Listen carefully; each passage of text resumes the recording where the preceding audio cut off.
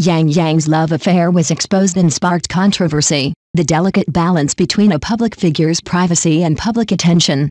Recently, the entertainment industry has once again sparked a heated discussion about the private lives of well-known artists. The exposure of popular youngster Yang Yang's relationship instantly ignited discussions among fans and netizens. This news was like a huge wave, breaking the tranquility of the entertainment industry and causing ripples in the originally calm water. It is reported that Yang Yang and actress Wang Churan were photographed by paparazzi having an intimate act in a hotel, and their suspected relationship was exposed. The news quickly spread on the internet, triggering widespread attention and heated discussion. Netizens expressed their views and opinions one after another. For a while, the names of Yang Yang and Wang Churan became the focus of public opinion. As a popular niche player in the entertainment industry, Yang Yang has always attracted much attention. His sunny, handsome appearance and excellent acting skills have won the love of many fans. However, after this relationship was exposed, the attitude of some fans changed and they were less tolerant of him. They could not accept the relationship between Yang Yang and Wang Churan, and believed that the two were not a good match.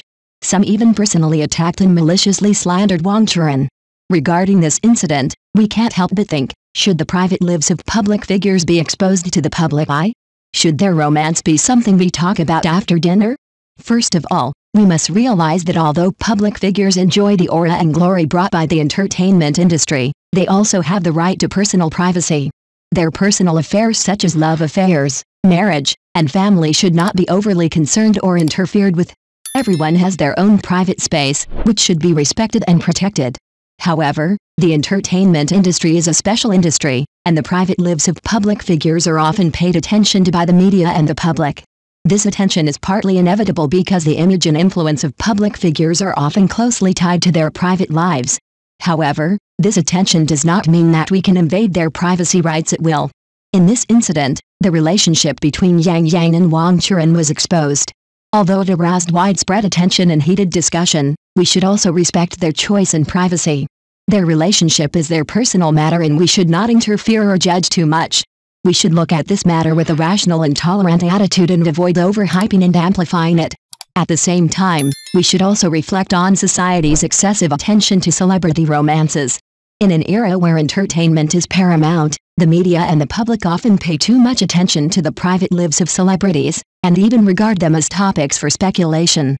This excessive attention not only violates the privacy rights of celebrities, but also easily leads to some false reports and malicious speculations. Therefore, we should establish correct values, look at the private lives of celebrities rationally, and not regard them as the main focus of our lives. In short, the controversial incident caused by the exposure of Yang Yang's love affair has made us think again about the delicate balance between the privacy of public figures and public attention. We should respect everyone's right to privacy and not excessively interfere with or judge other people's private lives.